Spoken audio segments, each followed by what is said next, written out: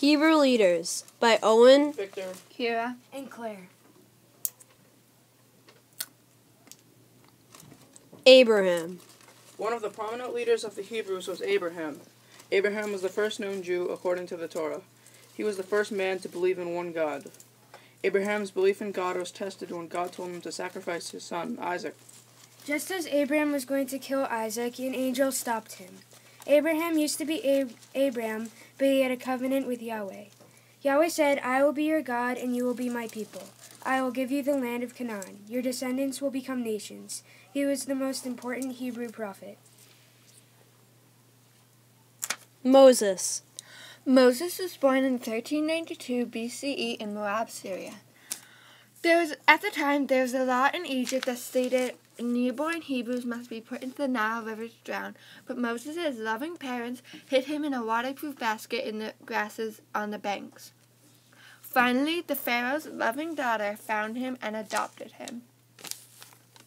She named him Moses, which means drawn from water.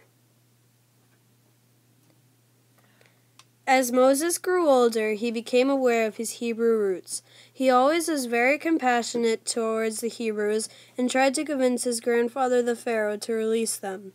The Pharaoh refused until a plague struck, which killed the newborns of everyone. Moses led the Hebrews out of Egypt and to Mount Sinai when he received the covenant that turned into the Ten Commandments. The Ten Commandments are basic rules that people live by. When they reached the Red Sea, he parted the sea and he drowned the Egyptian army.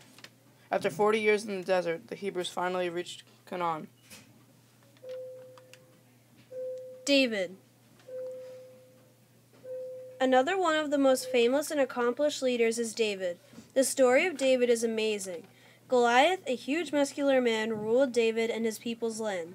The people sent David to go and defeat Goliath. Though David was weak, he had to put his life on the line to get his people's land back. David defeated the muscular Goliath with only a sling and a rock after a long and grueling fight. When he told the when he went back and told the people, they granted him king. David ruled the people's land for a few years until he had a son named Solomon. A few years later, when David died, his son Solomon took the throne. Solomon was known for being wise, peaceful, and powerful. Solomon is also referred to as the wise man because two women came to him claiming him claiming they were the mother of the same child. Solomon solved this by saying he would cut the child in two. One mother begged for him not to, while the other welcomed it. Solomon gave the baby to the rightful mother. Solomon also built and finalized God's temple, now known as Solomon's Temple. Even with all of these achievements, Solomon was unhappy with his life. He was tempted to do the three deadly sins. Solomon had turned his back on God, so he thought his life was worthless. Thanks for watching!